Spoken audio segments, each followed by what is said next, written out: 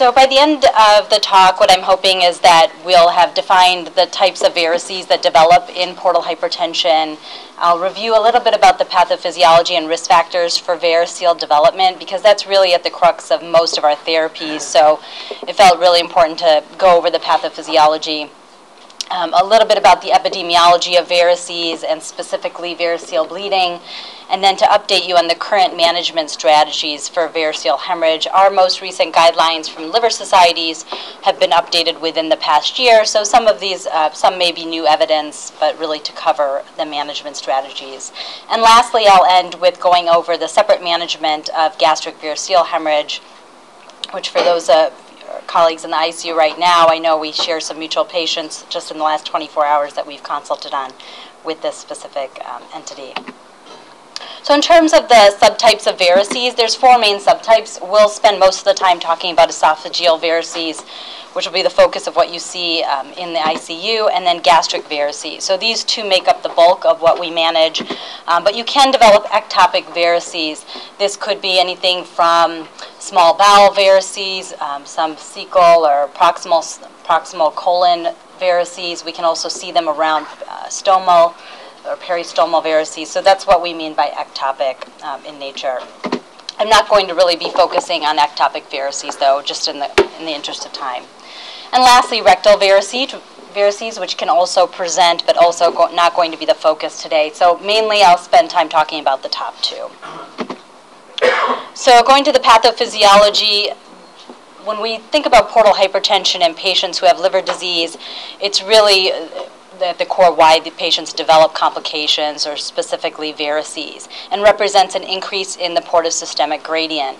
There are a number of different etiologies for portal hypertension and on the next slide I'll show you a chart really going through those different etiologies. We're again going to focus on mainly sinusoidal causes or, or particularly but what I mean by that is cirrhosis in terms of causing portal hypertension.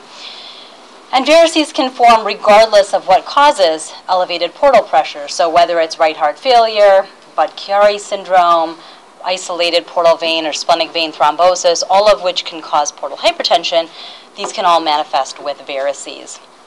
And the way that we define portal hypertension is based on invasive pressure monitoring uh, through a hepatic venous pressure gradient measurement.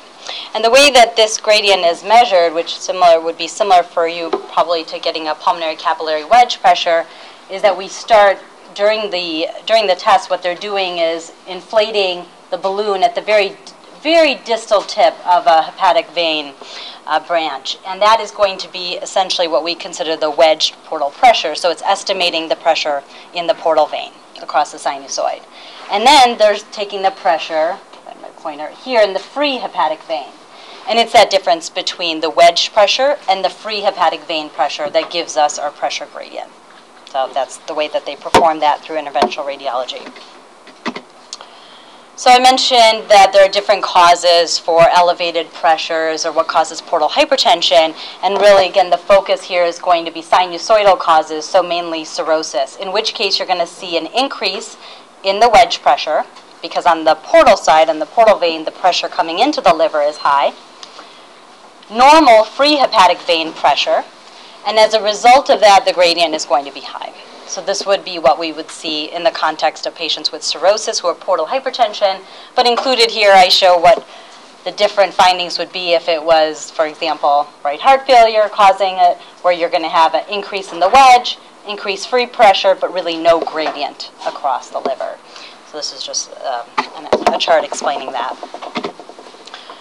So in patients with cirrhosis, when we do this pressure gradient measurement, a normal pressure gradient is actually defined as 3 to 5 millimeters of mercury. But then to define portal hypertension, a pressure gradient over 5 millimeters of mercury is, is uh, equated with a definition of portal hypertension, which we further classify into mild or clinically significant portal hypertension.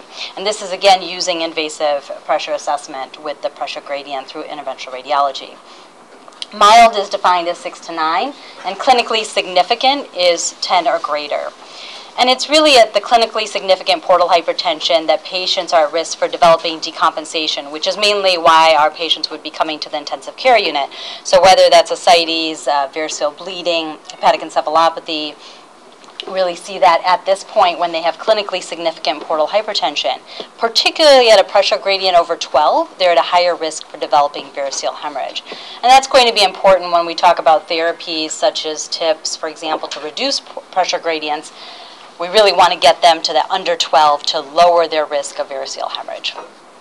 Doing this actual pressure gradient assessment is more accurate than just doing a liver biopsy for determining if somebody's at risk of decompensating. So if we just did a biopsy, it tells us important information about the amount of scarring in the liver. It can tell us about the etiology of the liver disease, but it really does not tell us about one's portal hypertension and their risk of decompensation.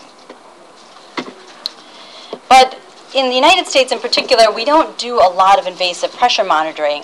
Most of the studies looking at hepatic venous pressure gradients and improvements on therapy come out of Europe, where they tend to do this pressure monitoring more frequently than we do. We certainly send some patients for this, but not very commonly. So I wanted to include what are some other non-invasive ways that we assess for portal hypertension. So if you see visible spider nevi in patients who have cirrhosis or abdominal portosystemic collaterals on their exam, that is that can be very informative that saying somebody has clinically significant portal hypertension.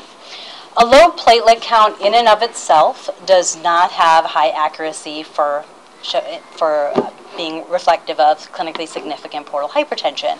But in indices that combine it with splenomegaly or combine it with FibroScan, which is a test we'll go into shortly, certainly the low platelet count can be useful, but in and of itself has a low accuracy for defining portal hypertension. There are certain imaging findings that are highly specific for portal hypertension. On an ultrasound, you can look for collateralization. And on a CT or MRI, which often our patients would end up having, you're going to look for a recanalized paraumbilical vein, 100% specific for clinically significant portal hypertension. Spontaneous splenorenal shunting or gastrorenal shunting, which they often mention on an IV contrast based cross sectional imaging dilated left and short gastric veins, which ultimately are what feed into the development of esophageal varices. If you see that on cross-sectional imaging, that also defines portal hypertension. Or reversal of flow in the portal system. So they'll refer to this as hepatofugal flow, or basically the flow is now going from outside more towards the center and backwards through the portal vein. That's causing that excess pressure and hence splenomegaly as a result. But they may use the term hepatofugal flow or reversal of flow in the portal system. So these are some of the, the buzzwords you look for on the imaging that equate with portal hypertension. Splenomegaly, just like thrombocytopenia in and of itself, low accuracy for portal hypertension. There are other causes. We see some patients who have fatty liver disease that don't actually have cirrhosis but have splenomegaly on imaging. Usually, when we see this, we tend to do further testing, especially, for example, we get asked sometimes on patients who are being considered for lung or heart transplant, you know, and these findings are seen on imaging to risk stratify and whether or not patients have advanced fibrosis, cirrhosis, or portal hypertension. Sometimes they may have splenomegaly, but that in and of itself doesn't always mean that they have portal hypertension, but many times will. Transient elastography is something we do much more commonly now in the last three years here at Henry Ford. And around the country, it's being done more commonly. It's called FibroScan, and when you order it in Epic, you can, it comes up as both terms, either FibroScan or transient elastography. This test for the patient feels like having an ultrasound done. It's a five minute outpatient procedure. They come over to the K building, they put a probe over the liver, and it's a non invasive way of assessing the stiffness of the liver. So they take 10 assessments across the liver of the stiffness, and based on that, the average gives correlates with certain values to tell us how much scarring has occurred in the liver. So this has largely replaced liver biopsy for many cases where we just wanted to know how much scar tissue has occurred in the liver. It doesn't tell us the cause of the liver disease, but is informative for the amount of scarring. So for portal hypertension, it actually performs very well in terms of discriminating mild or lack of portal hypertension to clinically significant portal hypertension. And the cutoff by kilopascals for the actual liver stiffness is 20 to 25. So when we put this report in EPIC, which just says FibroScan, you'll see at the bottom of it a score, which is the liver stiffness measurement. And that number would be anywhere from under 6 to up as high as in the 40s or 50s. So when you get above 20, it correlates well with um, likelihood of portal hypertension. MR elastography is an emerging technique. Um, sorry, that arrow's off there. Um, is an emerging technique and is something we do not currently do reliably here at Henry Ford. Certain centers around the country are starting to adopt this more, but mainly in the research arena. I think we will see in the next couple of years that we also adopt this tool and, and that we'll start to become more comfortable within interpreting the results of it. Mainly what it tells us is the degree of fibrosis, and it can also have some utility for defining clinically significant portal hypertension. We just don't know enough about it yet to use it on a regular basis. But it's a nice tool. So there are three main areas here that I wanted to capture on without going into all, all the description to get at why patients ultimately develop portal hypertension. So there's when we look at it from pathophysiology standpoint, I break it down into three parts here from this uh, slide. The cirrhosis itself, the splanchnic circulation, and the impact on systemic circulation. So at the level of the cirrhotic liver, you're getting increased hepatic vascular resistance. And that's actually occurring mainly because of two things. One is the structural changes in the liver from the nodules, the fibrosis, and broad bands of scar. And that makes up 70% of why you get the increased hepatic vascular resistance. And the other 30%, so that was the architectural disturbances. The other 30% is the increase in hepatic vascular tone. That occurs largely because in the microenvironment of the liver, there's a reduction in nitric oxide and uh, other, um, other vasoconstrictors, and as a result of that, or an increase in other vasoconstrictors, and you get that increased hepatic vascular resistance. So that's one reason that you get this portal hypertension. Then, how that feeds into the splanchnic system is through three main mechanisms. One is that in the splanchnic circulation, you actually get an increase in nitric oxide and as a result, vasodilation of the splanchnic circulation and increased portal inflow into the liver. You also have defective response to vasoconstrictors within the splanchnic circulation and neoangiogenesis. And as a result, you form collaterals, and altogether, this feeds into more portal flow into the liver. So we have the first two mechanisms one is the vascular resistance, the other is the increased portal flow, feeding into portal hypertension. And the third really is the impact on the systemic circulation. So when you get the vasodilation of the splanchnic, uh, splanchnic arterioles, as a result, the body senses a decrease in effective blood volume, translates into hypotension, and activates neurohumoral factors that result in increased sodium and water retention.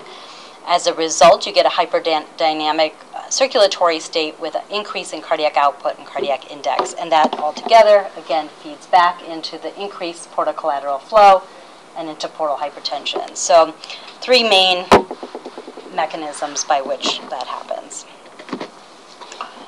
So I mentioned that with significant portal hypertension, uh, you're at a higher risk of decompensation. So variceal hemorrhage, ascites, post-surgical decompensation, and hepatocellular carcinoma. So for our purposes, because I mentioned earlier, we don't often do the pressure gradient measurements. Um, and in patients who are in the intensive care unit, we can't really bring them over to the K building and do the FibroScan test. So one thing we may look at is just when we do the endoscopy, if we see varices, if we see varices in a patient with cirrhosis, by definition, they have clinically significant portal hypertension. So we don't really have to do further testing to define if they have portal hypertension or not. Then we further go into whether they have compensated or decompensated liver disease. And this slide that I borrowed from the ASLD guidelines that were updated last year shows you that these are patients who start off all with compensated cirrhosis. And we just talked about how they can then be have mild hypert- portal hypertension or clinically significant portal hypertension.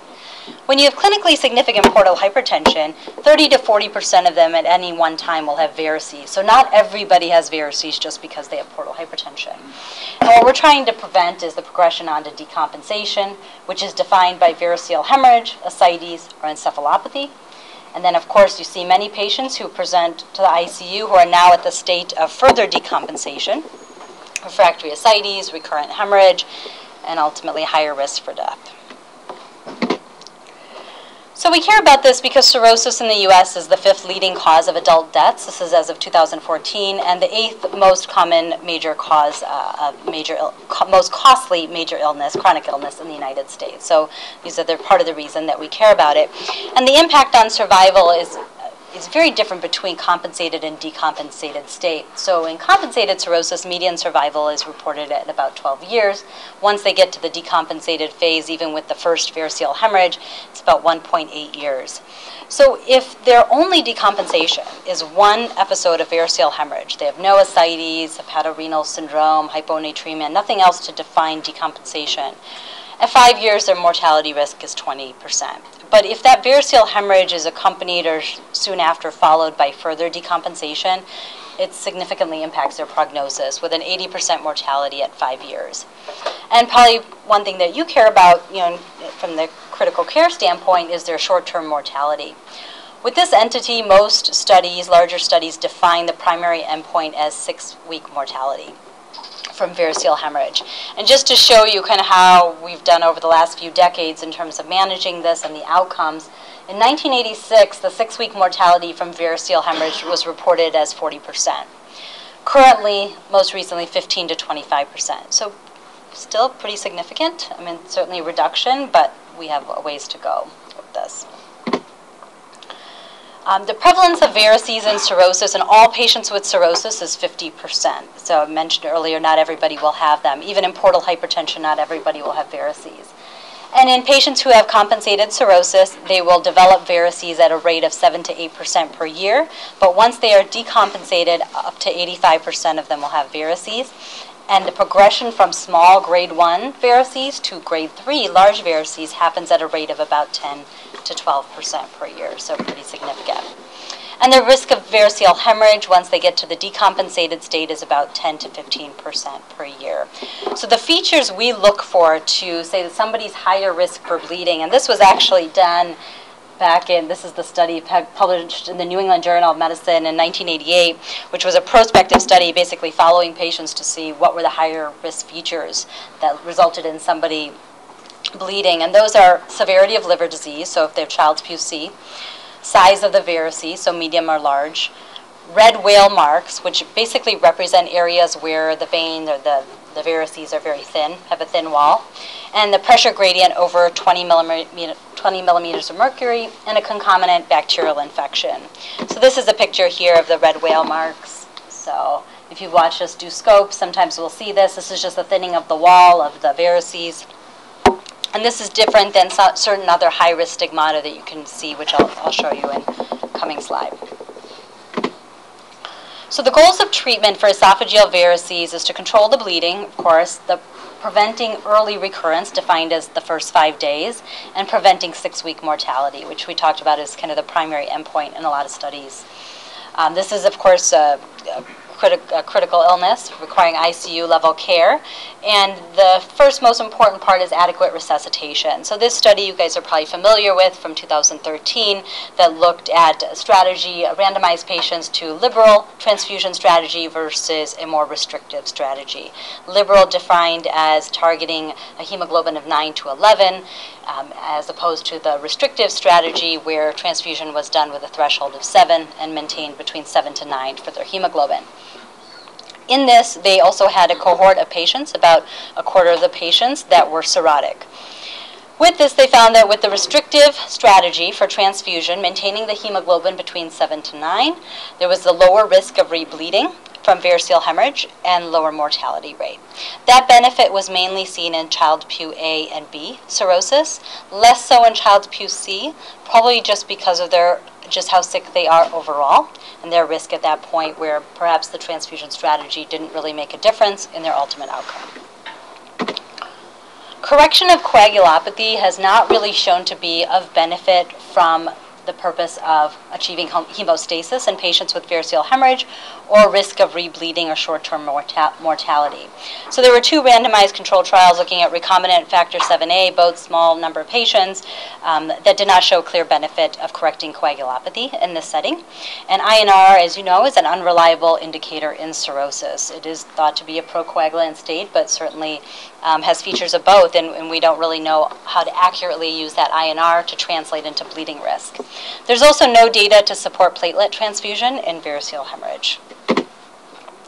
But antibiotics are certainly very important. So after the resuscitation strategy, then next most important is to think about starting IV antibiotics in the setting of acute variceal hemorrhage. Uh, lots of nice randomized data to support this and meta-analyses looking at the randomized data which show a decreased risk of bacterial infections if you use IV antibiotics, a decreased early rebleeding risk, so defined as the first five days after the initial index bleed, and a decreased risk of mortality due to variceal hemorrhage. So this really is recommended to be started for all patients coming in with variceal hemorrhage, but the data is probably the weakest in the child's Pugh A setting. But until we have better prospective studies of this, which we probably will not do necessarily, um, just given the, the benefit that we've seen with IV antibiotics in this context, it's recommended to start it on all patients coming in with this. Right now, we give ceftriaxone one gram daily, and that's largely due to high rates of quinolone resistance that have been seen uh, to emerge, and it's usually for up to seven days duration. And I kind of emphasize the up to seven days because it doesn't mean you have to continue it for the full seven days. If the patient's in the hospital, certainly very reasonable to do so. But we do have some patients, few, but some who do make it out of the hospital at day five, for example, and have had control of bleeding early on. They're no longer on a vasoactive agent and it's been a day or two since they've had uh, since they've achieved hemostasis, and we can then discontinue the antibiotics if it allows them to get home. Um, these, in terms of vasoactive agents, this is the next, next thing, and most of these things are going to occur at the same time as, as you guys do, but um, these are all IV infusions, so you really want to start octreotide in our, in our case uh, prior to endoscopy. This has been shown nicely to improve control of bleeding and lower the transfusion requirements. And in a meta-analysis of 30 randomized controlled trials, it showed a nice reduction in mortality, of all-cause mortality at seven days. So this is why we give uh, IV vasoactive agents, specifically octreotide, although terlipressin and somatostatin are also used, not in the United States, though, um, for control of bleeding. So we use octreotide, as I mentioned, and it really improves the control of bleeding. It works by being a somatostatin analog and causes splanchnic vasoconstriction. So as a result, you get decreased portal inflow, and by doing so, then reduces portal pressure. The duration of octreotide is two to five days. So this again depends on when you achieve hemostasis, how long the patient's going to remain hospitalized.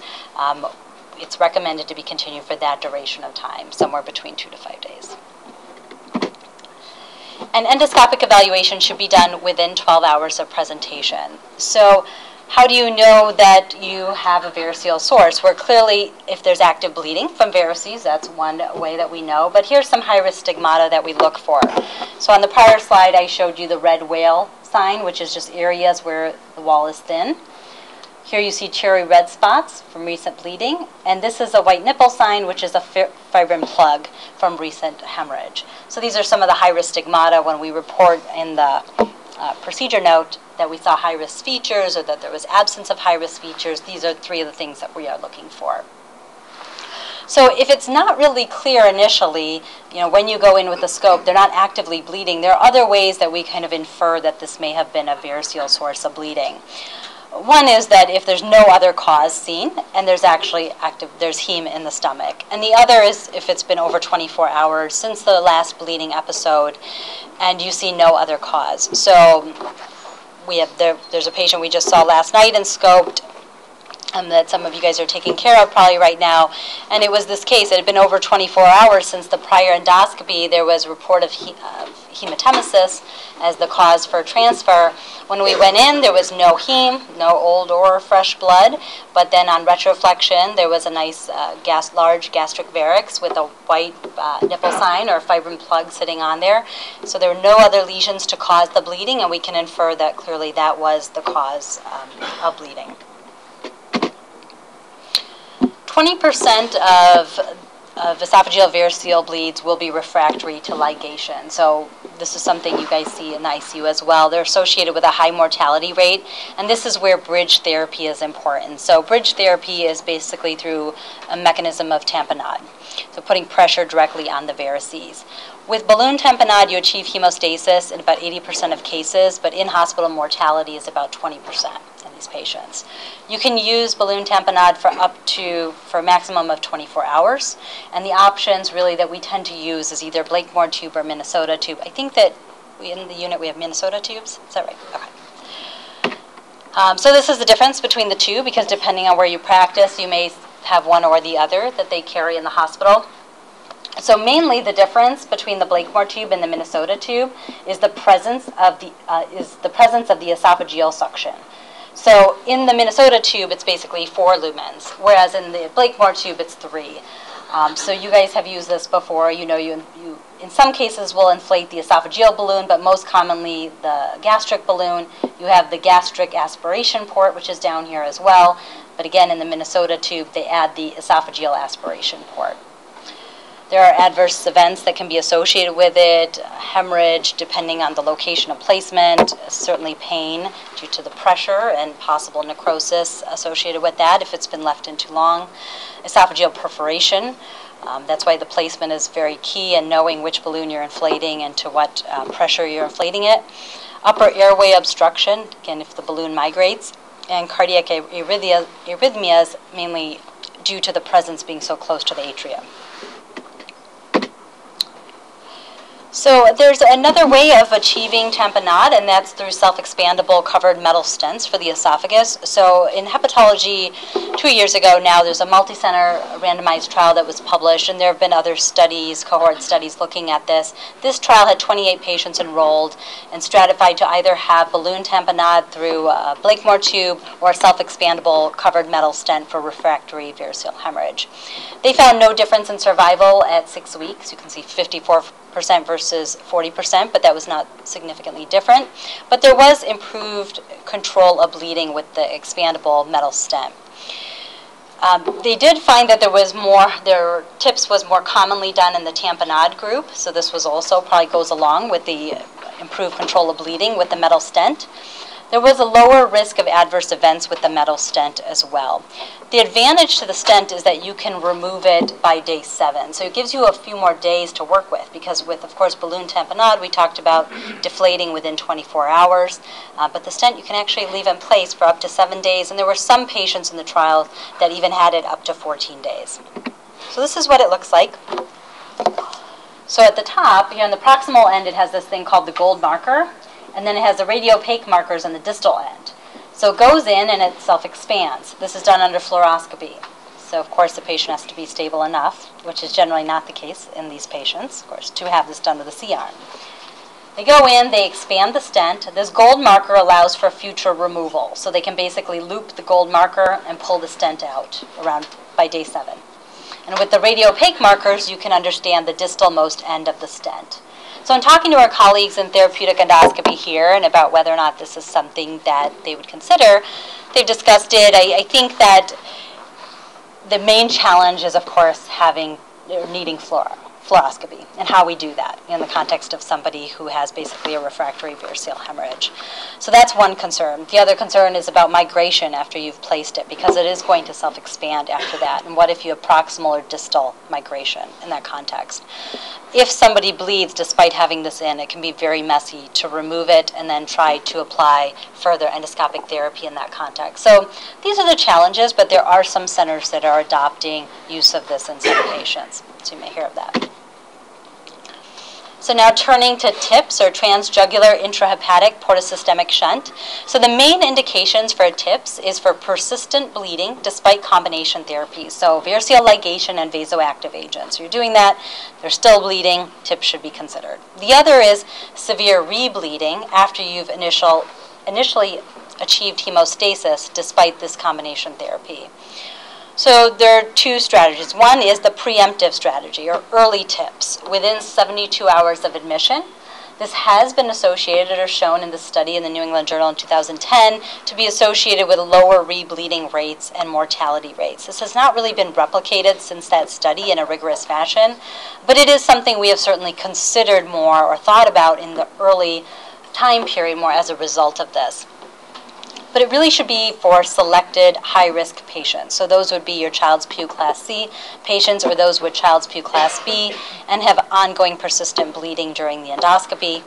The initial trial, and I'll show some of the data on the next slide, really selected patients. So ultimately, it was only 20% of patients that you would otherwise consider for TIPS who they allowed to participate in the trial. So they were very, very um, highly selected patients.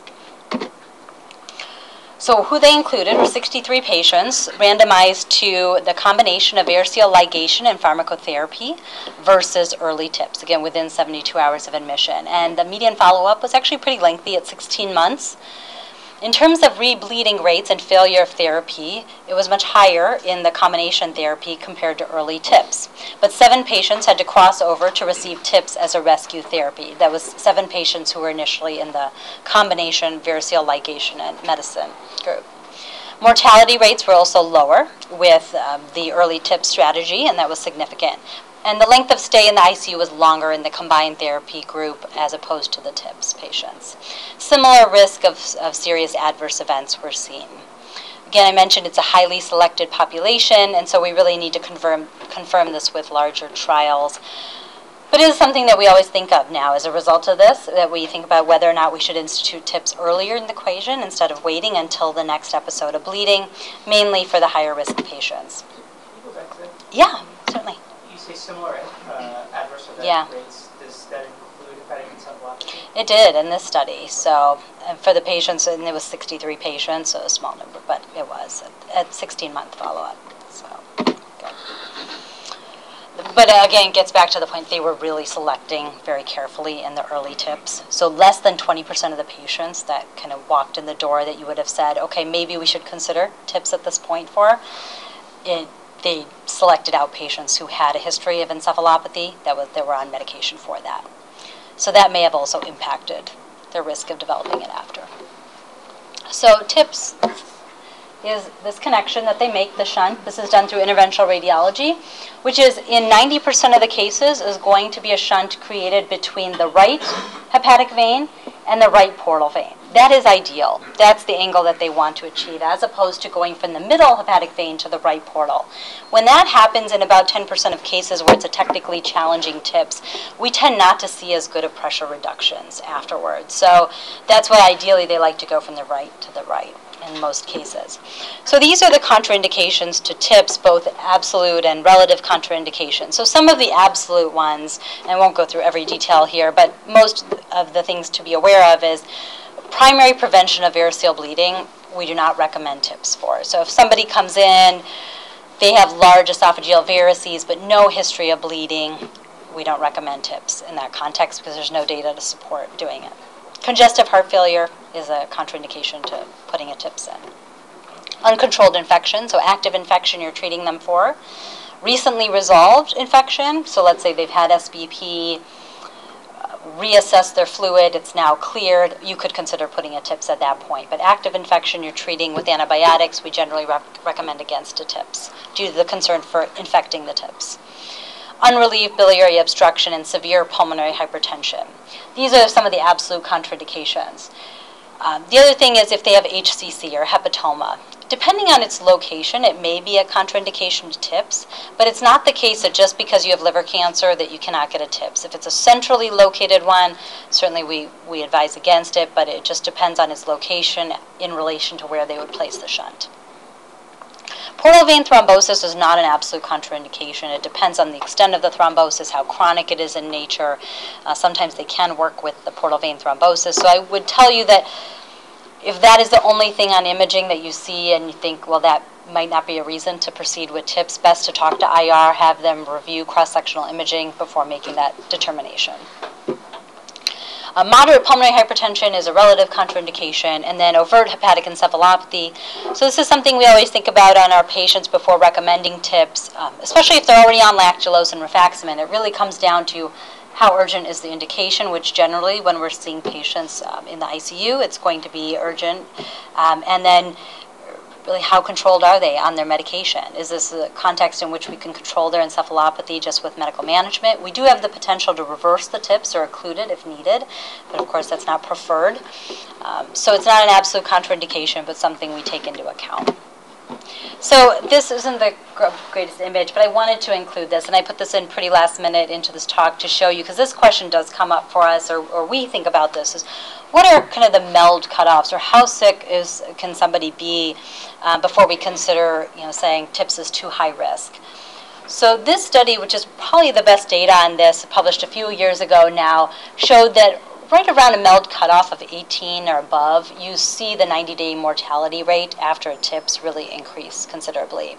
Um, so this Kaplan-Meier curve shows that as well in terms of survival, and you can see that distinction with the MELDs 18 and under versus over 19, 19 and above we don't always still say no because again usually it's urgent and there's no other better option for many of these patients. But what it comes down to is what are the components of that meld? You know is it driven by their creatinine? Is this atn driving their creatinine to be elevated but their bilirubin is 3 and their inr is more reasonable?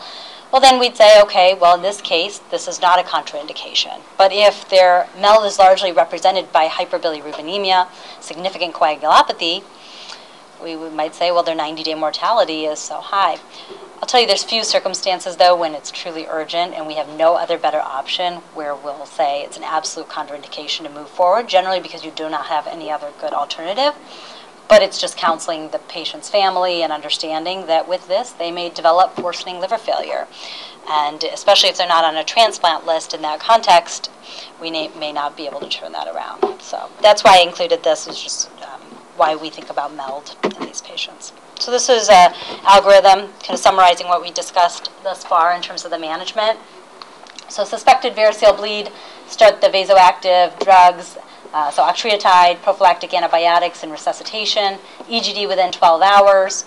If they have a bleed, we're going to do band ligation. I didn't really talk about sclerotherapy. We don't tend to do it too much, but if we need to during the scope, we will apply it. Um, endoscopic band ligation. If you control the bleeding, great. Continue the vasoactive drugs for two to five days and then start long term treatment, which we'll discuss in subsequent slides.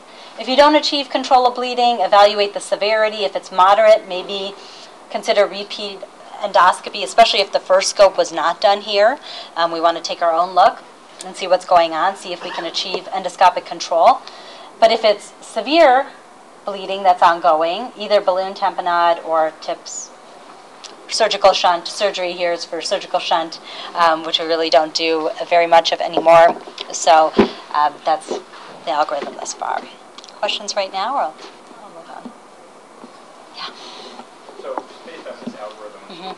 where would you, you know, where would we then look at our balloon tamponade? Because I think a lot of times we're apt to do it earlier on, uh, just without any Yeah.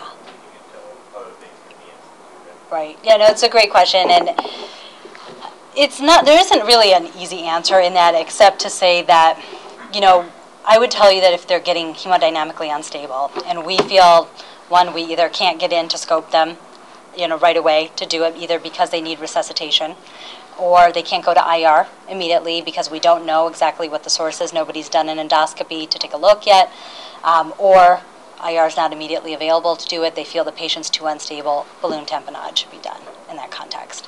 But it really should be ideally with the same call, you know, same time calling GI, on call, calling IR, and to see the patient. Um, but other than the hemodynamic instability, not really a clear cut answer. Sometimes we will do it if we can't achieve hemostasis during the endoscopy, and we feel that, okay, this patient now needs to get to more definitive management either with TIPS or BRTO, which I'll show soon, but that we need more information, whether it's cross sectional imaging or an echocardiogram before proceeding down that route.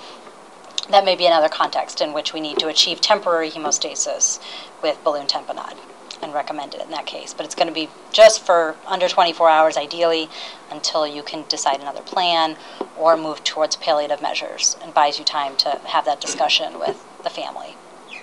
Does that answer your question? Yeah. Okay, so preventing rebleeding is very important in this context, short term as well as long term. In the first year, patients have a risk of rebleeding of 60% and mortality rate with rebleeding of up to 33%. So we talked about continuing octreotide for two to five days. And then the first line prevention after that would be a combination of non-selective beta blocker and variceal ligation. And in this meta-analysis uh, of 476 patients altogether of all the studies included, they looked at combination therapy, beta blocker plus variceal ligation, or variceal ligation alone, or medications alone as the strategy for preventing rebleeding. And what they see, this is your meta-analysis for, for, um, forest plots, is on um, the left here, rebleeding, on the right, rebleeding rates, below is mortality rates. And so if you look at the combination of variceal ligation and medication compared to ligation alone, it favors the combination of therapy for risk, uh, dec- decreased risk of rebleeding. Similarly, for risk of mm. mortality, short-term mortality, it fa- favors the combination therapy. But if you compare that to the combo versus drug therapy alone, so just non-selective beta blocker, in some studies it was non-selective beta blocker paired with isosorbide mononitrate, again, for rebleeding rates, it favors combination therapy, but when you look at mortality, kind of crosses one or gets close to one there and really seems to show that of these two in the combination therapy, probably the pharmacologic agent is the one that's more powerful in reducing the risk of mortality from rebleeding. And the reason that's relevant is that if a patient is unable to tolerate non selective beta blockers, not just right in the hospital, but even for us on follow up, then we importantly want to think about TIPS earlier, just because that seems to carry the greater weight in preventing mortality from rebleeding.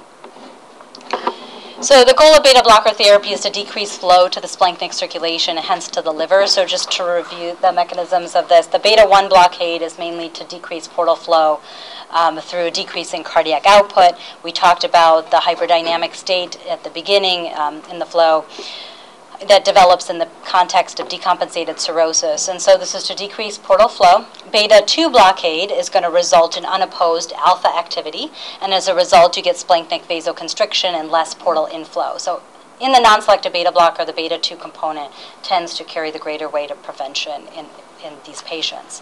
Most commonly, we use propranolol or nadolol, but there certainly are high, high quality data for support of carvedilol use. Um, and as an alpha blocker, you do get the additional benefit in the beta and alpha blockade of resulting in some vasodilation of the intrahepatic circulation. So when we talked about the decreased nitric oxide in the intrahepatics, it causes increased resistance to flow. So if you use the alpha blockade and you add that in our um, non-selective beta blocker therapy, then it can result in some vasodilation improvement in flow through the liver. So you do see in, this in the trials that have been done with carvedilol a greater pressure gradient reduction compared to propranolol or nadolol. The challenge for many of our patients and why we don't use it that commonly unless they're already on it um, is because it tends to be associated with a greater decrease in mean arterial pressure. So a lot of our patients don't necessarily tolerate that, especially by the point that they're decompensated. So a lot has been written recently, or you may have heard, you know, that there's been a lot questioning the benefit or utility of beta blockers for patients with decompensated cirrhosis. So I just wanted to spend a minute talking about that. There are studies showing the benefit of non-selective beta blockers uh, in the setting of decompensated cirrhosis and those showing that we may actually be increasing their short-term mortality as a result. And that's because it can alter the hyperdynamic circulatory state. So really, right now, the guidance is that um, you want to consider that this is going to occur or have a negative impact on patients in a very small subset of decompensated cirrhotics, and those would be those patients with refractory ascites and a, um, a systolic blood pressure under 90, refractory ascites with hyponatremia under 130, refractory ascites and in the setting of AKI, and refractory ascites and SBP. So these are the patients where we say or we should consider saying, probably the risk is greater to continue a non-selective beta blocker than the benefit we may achieve for secondary bleeding prophylaxis. It is not recommended to continue a beta blocker for patients who have a functioning TIP. So once you have a TIPS in and you achieve good pressure reduction, um, we'll talk about what that pressure reduction is in a minute, but once you do that, you no longer need to continue the non-selective beta blocker.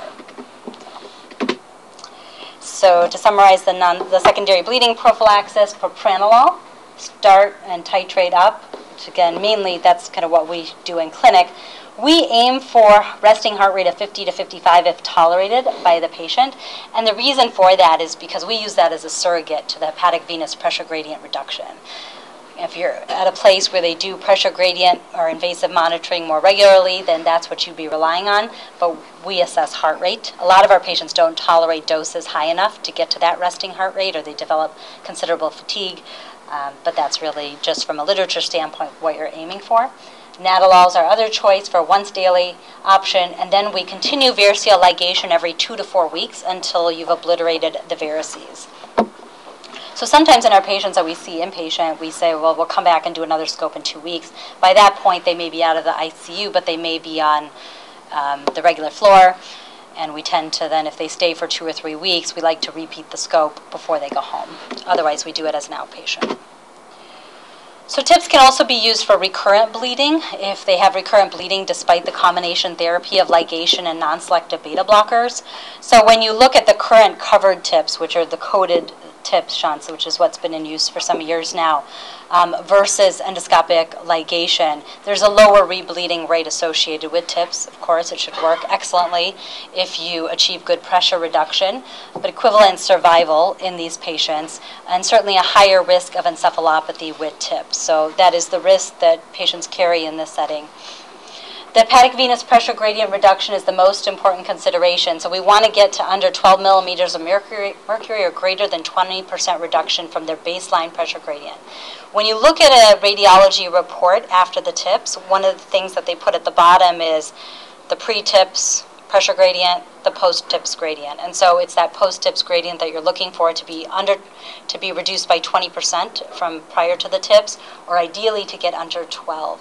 That's why I mentioned that if they can get from the right hepatic vein to the right portal, you generally achieve that.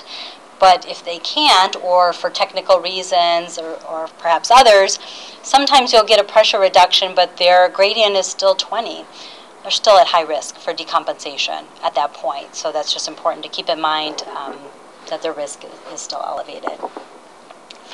Um, in, in this randomized trial that I put here, this was from 2015, of covered tips versus using pressure guided medical therapy alone, no ligation in these patients, rebleeding rates um, were lower in those who had the tips. Equivalent survival, again, in both of these studies, and a higher risk of encephalopathy post tips. So it is a preferred strategy from the context of decreasing rebleeding rates. So let's turn to gastric varices. Um, so gastric varices are defined by the Sarin classification. In 1992, he came up with this classification, gastroesophageal varices type 1. These are the gastric varices that are contiguous with esophageal varices shown in the blue. So gastroesophageal varices basically connect with the esophageal varices. This is type 2 gastroesophageal varices along the fundus. And then what's called isolated gastric varices and isolated, isolated gastric varices that tend to be in the antrum or type 2.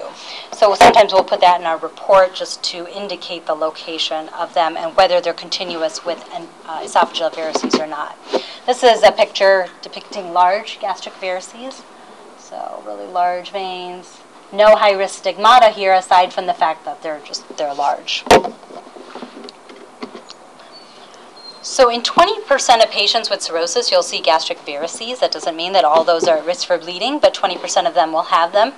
And type 1 is the most common. So that's the one that's here shown, continuous with esophageal varices and right here at the cardia. Risk factors for bleeding, the location matters. So isolated gastric varices type 1 are most prone to bleed.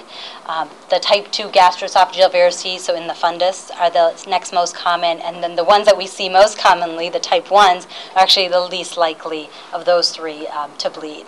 We look for the size, large size, just like in esophageal varices, that makes them more likely to bleed. How decompensated they are from Child's Pugh status, so Child's Pugh C, certainly more risk for bleeding. And then if they have a cherry red spot, or in the case of our patient yesterday that we scoped in the unit, um, the white fibrin plug, these are all high risk stigmata. The initial management in terms of resuscitation, vasoactive agents, and antibiotics should be the same as that for esophageal varices. For the two types I mentioned that are higher risk for bleeding, you do want to look for portal vein thrombosis or splenic vein thrombosis because those two types can develop in patients without cirrhosis. So they could have an isolated splenic vein thrombosis from pancreatitis or portal vein thrombus from uh, hypercoagulable state, and as a result develop isolated varices, gastric varices, and not have any clear esophageal varices. So cross-sectional imaging is important to look for that. Um, the other thing, and, and, I think this is pertinent only because I don't know who's rounding right now in the unit from the fellows, but uh, there's a patient yesterday we saw where this question came up. They wanted to get the glue injection into the gastric varix. A young individual who had heard about that and was really insistent that glue was the best management for gastric varix and wanted to go elsewhere to get that done. So, um, injecting tissue adhesives or glue into gastric varices is a technique used in Asia very commonly for management of this. But in the U.S., there are some centers doing it. Um, we do not do this currently here at Henry Ford. So there are three randomized trials comparing the cyanoacrylate glue injections, which is just a tissue adhesive, versus endoscopic ligation. And in these trials, they saw a similar initial control of bleeding and a lower rebleeding rate with the glue injection. So it may have a more durable response than banding. In these trials, they mostly included just the type 1, which I mentioned is the one that tends to bleed the least, but is also continuous with esophageal varices, so there is a potential to band them. Generally, other types of gastric varices, you cannot achieve ligation because you can't get the band around the large size of them and actually tie up the tissue. Um, it's a limited option. Really, here, the reason we don't do it is because you have to have a rigorous protocol to handle the tissue adhesives. It ruins the scopes. Um, and that's why many centers don't do it. So I don't know of a center in Michigan that currently does it. I think uh, Case Western certainly does do it. That's probably our nearest option. In Pittsburgh, they do it as well. I don't know about places in Chicago, um, but there are some centers that are adopting protocols for it. So we talked about how ligation is a limited option in this, these patients, and these tissue adhesives are not actually approved in the U.S., but in off-label fashion are being used at some centers. You should initiate a non-selective beta blocker if the gastric varix is successfully treated with band ligation, so for secondary prophylaxis. And you can do TIPS for these patients and it achieves a very high rate of initial hemostasis. And this is generally the recommended treatment for the isolated gastric varices type 1 or GOVs 2, which are the most likely to bleed. Um, you can also at the same time embolize some of the collateral feeders. And so in the report, sometimes IR will say that, you know, we did TIPS plus com- combine that with some embolization of some additional collaterals. There's no study that compares TIPS versus ligation or glue injection for initial hemostasis. So that we really don't have the data to say, you know, which, which is better for initial hemostasis just for the rebleeding. And spontaneous cessation of bleeding from gastric varices can occur, but in those cases, uh, like the patient we scoped yesterday, where there was no active or recent bleeding in the, in the last prior few hours, we still should recommend TIPS or BRTO because there's such a high risk, over 90% of rebleeding um, within the first year after an initial bleed from gastric varices. So some definitive management should happen before the patient leaves the hospital. So to decide between the two, we need to know about BRTO. So BRTO is balloon occluded retrograde transvenous obliteration. Uh, this is done here at Henry Ford. The indication is for varices, gastric varices with large collaterals. So you're going to look on imaging, cross-sectional imaging for gastrorenal or splenorenal collaterals. The advantages to this over TIPS is that you're not shunting blood flow from the left side of the liver over to the right by putting a shunt in. Because when you do that in the context of a TIPS, some patients will run the risk of hepatic decompensation after TIPS because of that steal phenomenon. You also have no effect on hepatic encephalopathy, so that's the advantage here because you're not creating an actual shunt. The disadvantage is, that you, as a result of closing off the spontaneous shunt, you increase the portal inflow, and that can worsen esophageal varices if they're present. It can worsen ascites, so the overall uh, portal hypertension may worsen.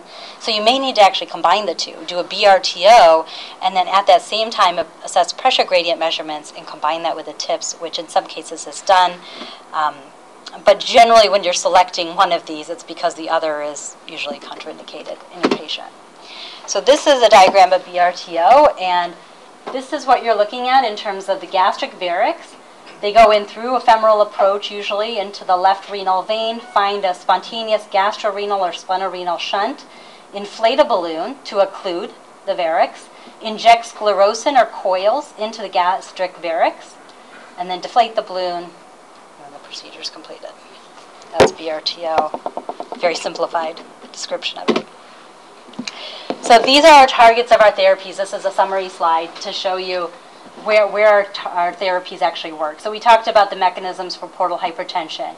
So if we look at the increased hepatic resistance, treating the underlying etiology of the liver disease can help the underlying structural changes if they have potential for reversibility. Carvedilol can decrease the intrahepatic resistance through its alpha blockade. TIPS also because you're creating a physical shunt in the liver. In terms of directly treating the varices but not influencing portal pressure, you can do endoscopic therapy, so ligation, sclerotherapy is another option, and BRTO. Okay, so that directly treats the varices but no impact on the portal hypertension within that actual varix. Um, in terms of increased portal venous flow, you can treat with non-selective beta blockers, and then similarly for splanchnic vasodilation, address that with non-selective beta blockers or octreotide. So I'm going to skip over the history of this, um, but just go to this very last slide because I just wanted to include a pearl about this. It seemed better to put it at the end than the beginning, now knowing the context. Is that this is a diagram, a picture I saw, came across from the 1500s of what their initial belief was of what portal hypertension looked like. And I can actually show you the bigger picture of it. Interestingly, in this, you'll notice the liver is nowhere to be found in this. And that was because they really believed that this was a disease of the spleen. So they called it Banti syndrome uh, back up until the late 1800s because they thought that portal hypertension was really a, a, disease of the spleen.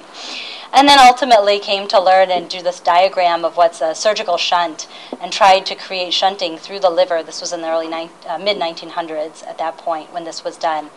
And then the Blakemore tube was developed in around 1950. And finally, our banders, by about mid 1990s, developed the banding kits that we use now, which achieve the multiple um, attempts of banding within one kit. So kind of neat to see the, the evolution of that. So in summary, um, varices form as a result of portal hypertension.